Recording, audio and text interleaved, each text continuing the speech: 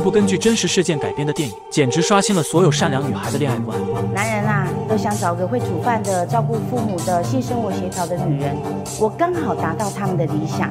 男人爱我，给我钱，我收了，我有错吗？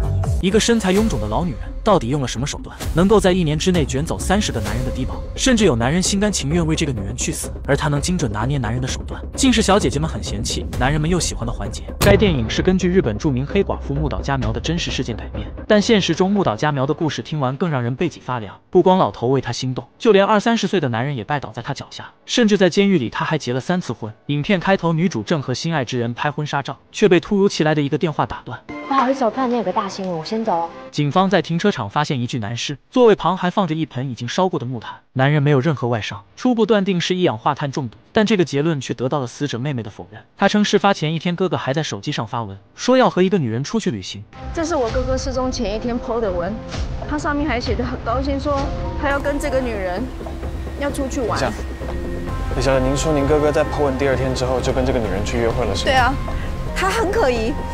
他跟他见面的第一天，他就开口跟他要二十万。侦办此案的李简一眼就看出破绽，照片中的女人竟和前几天接过的案件有关。当时一个七旬老伯过来报案，称女友骗走了他很多的钱。就当李简要给他立案时，老伯却换了一副嘴脸，说那些钱是自己甘愿给他的。那些钱是我心甘情愿给他的。你明明就是被这个女人给骗了钱，你才报警的。你为什么突然要和解呢？之前都是误会。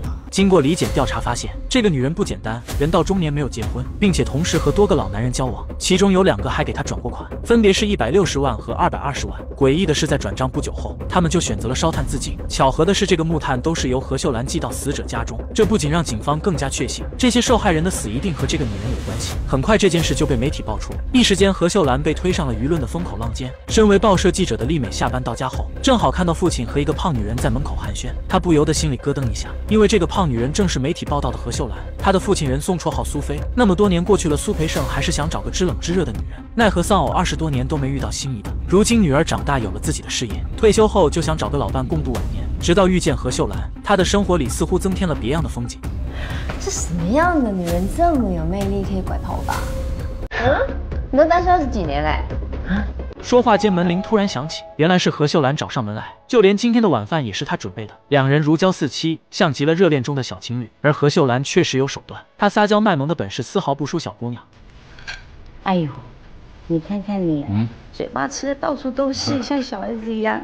这腻歪的样子不禁让丽美一阵恶心。她搞不懂一向温文儒雅的父亲怎么会对一个又老又胖的女人动心。作为新闻工作者的丽美，便想用言语让何秀兰露出马脚。你们两位没有认识很久吧？却不成想何秀兰只用一句话就轻松化解。人跟人的互相理解啊，不是时间可以算的。我跟你爸爸结婚，绝对不是为了钱，是因为我喜欢那种读过书的男人。其实何秀兰就是抓住了人性的弱点，她知道男人最需要的是什么。在两人交往的半年多里，她经常到老黄家里照顾他的饮食起居，这让单身二十年的老黄感觉到了家的温暖，并且有了和这个女人共度余生的想法。秀兰真的是。既温柔又体贴，她真的是一个很善良的女人。看着父亲被这个女人迷得五迷三道，丽美只能说自己快要结婚了。如果父女俩的婚礼赶到一起，会非常尴尬，所以希望将他们的婚事暂时缓一缓。这时的何秀兰却举杯，那我们就预定当一家人喽。面对何秀兰敬过来的酒杯，丽美当场拒绝。老黄看此情景，赶紧打圆场。精明的何秀兰自然看出丽美的敌意。随着媒体的曝光，事情不断发酵，关于何秀兰杀人的消息瞬间铺天盖地。刚刚那恐龙蛇仙女，你看，你看，你看，大家真的很有趣。看，他是谁啊？一定都是骗男人钱还，不然怎样杀他们拿保险金。怎么可能？你想太多了。好可怕！不是，你看像他这么特别的口味，不会被男生抢了进口。没有没有，他那那么特别，一定有他厉害的地方。什么？就是床上功夫特别厉害。不要讲这个啊！啊，我讲，我知道我讲错啊，对不起对不起。这些报道让丽美不禁脊背发凉，她绝对不能让这个胖女人伤害到父亲。于是下班后来到何秀兰家里，房间的布局虽不是富丽堂皇，但也奢华大气。餐桌上摆放着精美的点心，一看何秀兰就是个懂得生活的人。她没有固定的收入来源，却在这个寸土寸金的地带买下这样的房子，足以证明她绝对不是一般人。她此行的目的很明确，就是要让这个女人离开自己的父亲。我看过今天你的新闻了。你做新闻的应该很清楚吧？媒体就是喜欢未审先判呐。我没有杀人。教授说你没有杀人好了，但是你有骗男人的钱吧？我个人问过你的底细了，你没有稳定的工作，要不是骗男人的钱，怎么样过这么好的生活，住到这么好的房子？丽美将何秀兰的老底都翻了出来，以为这会彻底激怒她，从而露出马脚。没想到何秀兰却表现得淡定从容，并说着她是如何一步步走到现在。其实何秀兰是乡下姑娘，没有好的出身，也没有学历，初到社会就做了一名女技师。但那时候她就知道，要想改变处境，首先就是包装自己，只有提高自己的档次，才有机会接触到有档次的客户。果然，这个方法很实用。很快，她就被一个老头看上，也终于走出那个阴暗的小房间。我赚钱养活我自己，一步一步的走到今天，我有什么不对吗？何秀兰是个聪明的女人，不光懂得如何掌控那些男人，还懂得怎样令自己全身而退。她直言这些杀人案件和她没有任何关系，警方也绝对不会找到对她不利的证据，新闻报道最后也会不了了之。而她与老黄结婚也完全和钱没有关系，同时还亮出了手上的戒指。你看到了吗？这是我们的婚戒，一万多块。你爸爸说啊，不要太奢侈，钱还是我先付的哦。你们登记了？啊、不好意思，你爸爸还没有跟你说啊。何秀兰痴情的话语怼得丽美哑口无言，可丽美却知道事情绝对不会这么简单。通过李简对何秀兰的账户调查发现，很多男人都向她的账户上汇过钱，而且转账金额最大的两个人，竟在今年的一月和四月都先后烧炭自尽。也就是说，这三起案件都与何秀兰有关。为了尽快将嫌疑人抓捕归案，李简只能利用日报的朋友推波助澜。果然，媒体的力量很强大。很快，这个案件在社会上引起了巨大反响，何秀兰被顺理成章地带到了警局。然而，鬼迷心窍的老黄却像热锅上的蚂蚁，他着急地给丽美打去电话，希望他能帮何秀兰找个可靠的律师。丽美根本就不想管这件事情，并趁机劝父亲远离这个蛇蝎女人。而父亲的话却令丽美非常的震惊。小美，其实那个在车子里面死掉的人，是爸爸也认识的一个朋友。什么？秀兰想要跟我结婚，跟他提出了分手。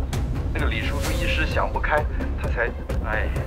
听到父亲的话，丽美震惊了。她没想到一直理智的父亲竟然也会被爱情冲昏了头脑。但为了安抚父亲的情绪，她只好假意说要帮忙，实则是想去何秀兰家里寻找线索。果不其然，进屋后她被里面奢华的衣帽间震惊了，里面全部都是私人定制的高端衣物，而且还有琳琅满目的金银首饰，保守估计价也得几千万。很明显，这些东西肯定来路不正。为了拿下收视率，丽美直接让助理在她家现场直播。而在法庭上，何秀兰却一副胜券在握的样子。面对李简的指控，她始终面带微笑。最终因没有实质性的证据，法庭以三百五十万新台币的保释金将何秀兰无罪释放。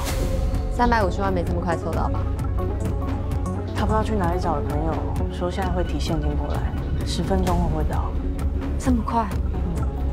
三百五十万现金是个不小的数目，但对于何秀兰来说却很容易。仅仅十分钟时间，就有人帮他交齐了保释金。这惊人的速度不禁让丽美对何秀兰刮目相看。于是她找到后妈，请求她不要将父亲卷进这件事情里。所以他们领证结婚的事情，千万不能告诉媒体。丽美不仅是为了保护父亲，也怕这件事情会影响到自己的事业。我当然会保护我爱的人啊。很快，何秀兰就走出警局，面对媒体咄咄逼人的问题，她却坦然自若承认那些人都给过她钱。有，他们都有给我钱，我没有杀任何人，司法会还我清白的，谢谢。丽美回到家，父亲已经等在家里。她给女儿带了晚饭，看着父亲疲惫的样子，她知道一定是因为担心何秀兰的案子，所以才没有休息好。这让丽美更加下定决心，一定要让何秀兰离开父亲。于是她找到负责案件的李简，此时李简却因为败诉的事情垂头丧气。作为新闻工作者，丽美知道李简一定会对何秀兰的案子感兴趣，于是便说父亲和这个案子有关。果然，李简一听瞬间来了兴致，并说一定会约丽美私下聊聊。果不其然，转天丽美就接到了李简的电话，约她在咖啡厅见面，并将案件有关的三名家属资料拿给丽美，还包括很多曾经和她交往过的人。这些人都与何秀兰有过金钱上的往来。李简的目的也很明确，就是要借助丽美将这些事情报道出来，只有这样才有可能将何秀兰送进监狱。很快，丽美就找到了受害人家属进行采访，但她却没想到这些人对何秀兰的评价很高，说她温婉善良，并且厨艺高超，不但不恨她，还甘心情愿被她骗。您知道您儿子之前跟何秀兰有金钱上的往来吗？我也是现在才知道，我儿子有陆续汇钱给秀秀。您叫她秀秀？哎，对啊，我们很亲啊。我们是在网络上认识的，第一次约会的时候，他就跟我要钱。您给了吗？给啦，花这个钱值得啊。之前报警也是因为何秀兰有了新的男友，老伯一气之下才报的警，但绝对没有要她坐牢的意思。这些人都不相信何秀兰是凶手，这让丽美陷入了深思。难道真的是自己错怪这个女人了吗？当丽美回到家后，却发现男友的东西都不见了，而且电话一直处于关机状态。婚期将至，男友却不告而别，这让丽美备受打击。她是个事业心很重的女人。总是将父亲和工作放到首位，并且约定在婚礼前不能发生亲密行为。男友对丽美这个行为十分不满，所以才选择了逃避。很快，父亲就将事情告诉了何秀兰。这次他还给丽美带来了一件法宝。不得不说，何秀兰真的很厉害。她不仅能看透男人的心思，也能看穿一个女人。她看出丽美是个保守的女孩，于是告诉她，要想留住男人，首先要知道男人想要的是什么。不同的男人呐，要有不同的对待方式。某些男人呐，第一次见面的时候啊，我就跟他睡，之后他就离不开我了。你要这样子出卖你自己的身体，那是你家的事。哎，不是，那不是出卖，人跟人互相了解，不就是这样子吗？所以你就是这样子跟男人要钱的。何秀兰的做法彻底激怒了丽美，她没有想到眼前这个女人竟然邪恶到这种地步。回到公司后，她让人找到那些采访片段，开始恶意剪辑，这样不仅能让何秀兰受到惩罚，还能获得惊人的收视率，简直一箭双雕。果然，报道一经播出，何秀兰又被推上了舆论的巅峰，很多媒体都开始捕风捉影。他跟他见面的第一天，他就开口跟他要二十万。我儿子又陆续汇钱给秀秀。第一次见面的时候，他就跟我要钱了。法庭迫于社会舆论的压力，只能将何秀兰定为嫌疑人，暂时羁押。看到新闻后，老黄却十分的着急，岂不知这一切都和女儿脱不了关系。很快，丽美和父亲就来到监狱看望何秀兰。此时，何秀兰只希望老黄可以相信她。何秀兰提出要换个律师，同时还意味深长地看了丽美一眼。老黄瞬间就明白了其中的含义。丽美以为何秀兰这次在劫难逃，不成想却在开庭时发生了反转。面对检察官犀利的问题，何秀兰则回答的有理有据。请问被告，你和被害人是什么关系？原本是男女朋友，后来分手了。被害人在死亡前见过只有你，也没有自杀的倾向，为什么会突然自杀？因为他求婚被拒绝啦，想不开就自杀啦。但为何又刚好汇了他一生的积蓄到你的账户呢？因为我表现得很好，男人呐都想找个会煮饭的、照顾父母的、性生活协调的女人，我刚好达到他们的理想。男人爱我，给我钱，我收了，我有错吗？他说的完全没有问题啊，他都已经收到钱，干嘛要杀？看着何秀兰坦然自若的神情，丽美也觉得这些回答完全没有问题。这就是何秀兰的高明之处，她不仅能给那些老头洗脑，也用同样的方式影响了丽美的判断。既然钱已经到手，何秀兰的确没必要再冒这样的风险。而李简却直接说出了其中的玄机：何秀兰的目的就是谋财害命，她会给这些男人设下温柔的陷阱，令他们死心塌地。何秀兰把这些男人都给洗脑了，他们根本就离不开她。你在你父亲身上也见识到了，不是吗？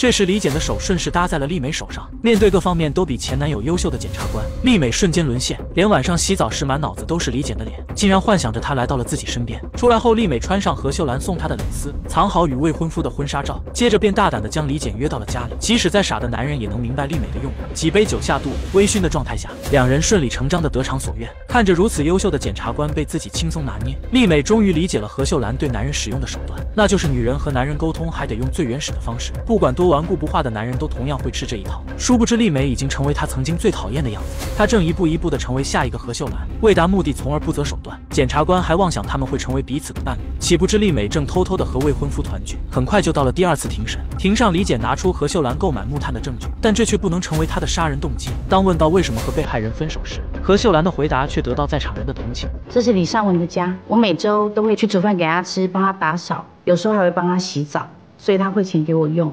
我本来是要跟这个男人结婚的，可是他这么的软弱，我怎么跟他过下半辈子？后来我反悔了，我不跟他结婚，他就想不开去自杀了。请问，这样我有犯法吗？尽管这样，也不能判定何秀兰有罪，法庭只好将她继续羁押。而老黄却找到了何秀兰不在场的证据，那是一张购物小票，显示的时间足以证明何秀兰没有作案的可能。现在只需调取店里的监控画面，就可以为何秀兰洗清嫌疑。而丽美却以时间来不及为由，拒绝了父亲的请求。无奈父亲只能打起了感情牌，说自己年纪已经大了，一个人将丽美拉扯大不容易，在他的晚年生活里，只想找个温柔体贴的人走完余下的时光。那么多年过去了，苏培盛还是想找个知冷知热的女人，而何秀兰就是他的理想对象。听着父亲的诉求，丽美心软了，于是她找到了李简，将父亲搜集的证据拿给他看。可李简却说，已经按照何秀兰提供的。线索去过那两家店，而监视画面中根本没有何秀兰。丽美听后更加气愤，没想到父亲竟被这个女人耍得团团转。就在这时，何秀兰突然晒出婚戒的照片，并配文其实自己早就和老黄领证了。丽美看后情绪接近崩溃，这样的话所有人都会知道她和杀人犯有关，肯定会影响自己的前途。而李简又告诉她一个更炸裂的消息：何秀兰每过一段时间都会上网购买木炭。和老黄结婚登记后，她不仅买了木炭，还帮老黄买了寿险，受益人就是何秀兰。这个女人，她的目的不光是钱。她在玩弄男人之后，你就想要咬死她的猎物。如果我们要救你爸的话，我们必须把他关进牢里。丽美想马上撇清和这件事的关系，于是听从了李简的建议，再次利用媒体的力量让事情发酵。她以受害人女儿的身份接受了现场直播，声称如果何秀兰没被抓起来的话，也许父亲已经遇害。幸好她现在关在看守所里，如果她是自由的，她一定会对我父亲下手。看着女儿义正言辞的指控，老黄瞬间万念俱灰。他想救何秀兰出来，丽美又不肯帮忙，他只能将俩人结婚的事情公之于众，也许这样才有一线希望。不成想却弄巧成拙。至于保险，也是老黄自愿买的，因为自己比何秀兰大很多，这样做只想给爱人一个安全感。而丽美却认为父亲是受了何秀兰的蛊惑。那木炭呢？他拿木炭到你家要做什么？木炭是为了要做菜。做什么菜需要买木炭到家里呀？你知道之前那些男人是怎么死的吗？何秀兰就是拿男人钱过活的吸血鬼。秀兰不是这样的人，从来没有跟我要过半毛钱。他有多狠，你还搞不清楚吗？你是傻了吗？看着声嘶力竭的丽美，她的父亲失望极了。果然，媒体的不断发酵引起了巨大反响，从而导致何秀兰被处以死刑。但老黄却始终没有放弃，他到处奔波要将何秀兰救出牢狱。可律师却告诉他，何秀兰之所以会被判死刑，都和丽美的指控脱不了关系。这些话对老黄来说犹如晴天霹雳，他没想到竟是自己间接害了最爱的人。紧接着，他就来到看守所看望何秀兰，劝她不要担心。而何秀兰却没有半点埋怨，并且提出了分手，让他以后好好的生活。我们算了吧。你回到你宝贝女儿身边，这样对我们大家都好。秀兰，秀兰，你不相信我了吗？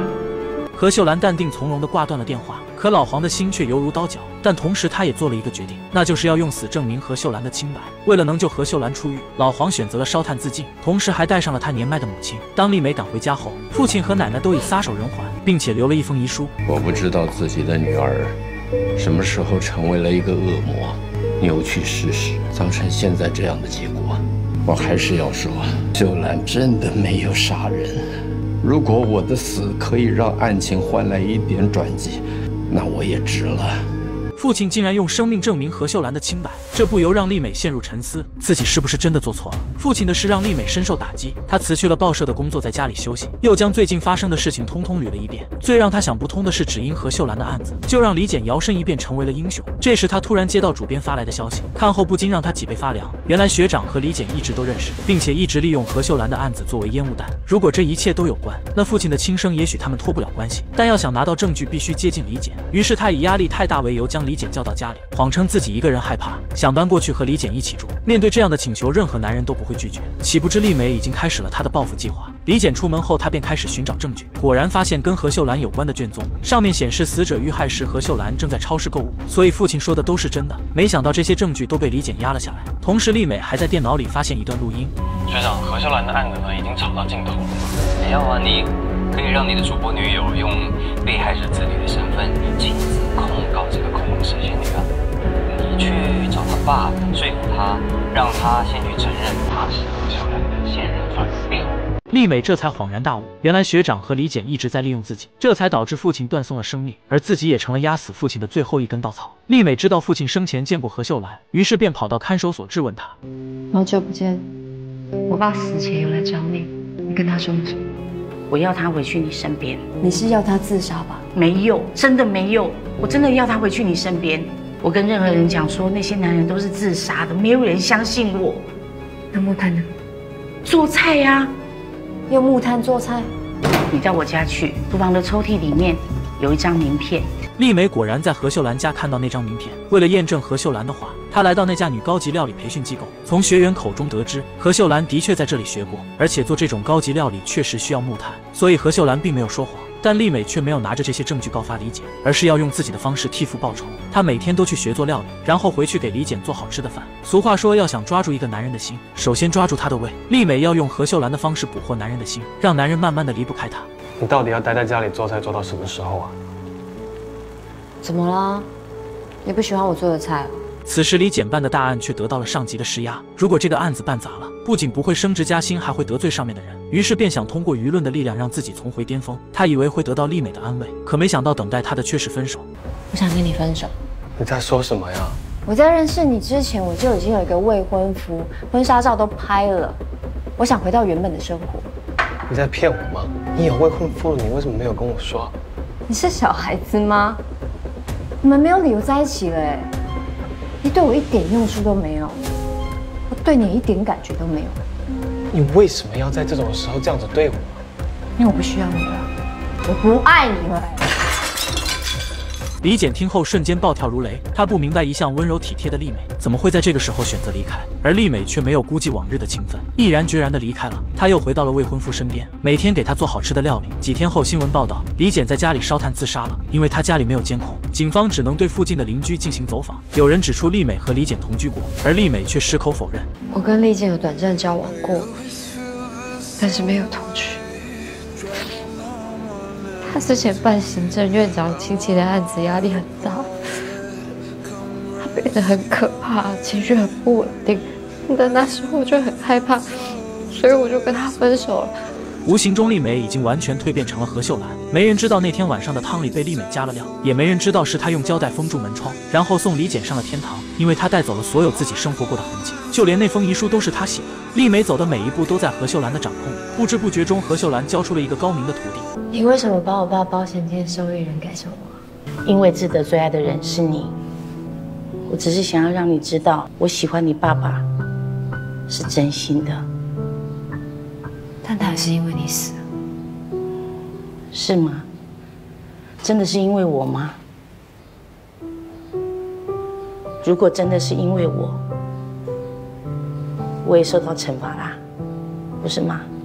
很快，李简扣押何秀兰的不在场证据就被媒体爆出，何秀兰案也从死刑改判为死缓。丽梅姐复出主播台第一天就遇上蛇蝎女逃过死刑，这世界实在太没有正义了。这个世界啊，根本就没有正义。恶女在这部影片中从来都不是一把锐利的刀子，而是在洞察人心后可杀人于无形的木炭。木炭始终都在，而点燃的方式便因人而异了。看完这部电影，我不禁想起一句话：问世间情为何物，直叫人生死相许。